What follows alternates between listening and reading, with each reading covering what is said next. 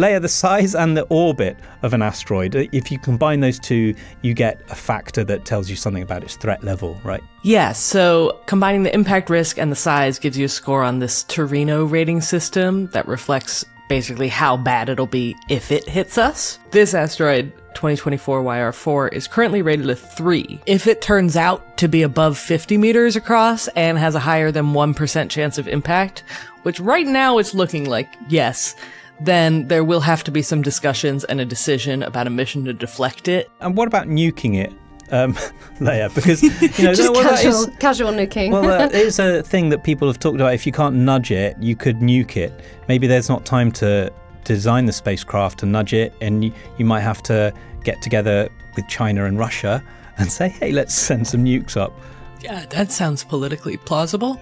so there's a lot of misunderstanding around nuking it actually, because if you actually just send a nuke at it and blow it up, all of that stuff is still coming straight towards us. So when you talk about nuking an asteroid, what you're actually doing is blowing up a bunch of nukes next to it and still trying to nudge it off course without smashing it into mm. bits. Because then they just rains down the now nuclear irradiated bits of rock on us as well, right? Yeah, and it's much less predictable than one big thing.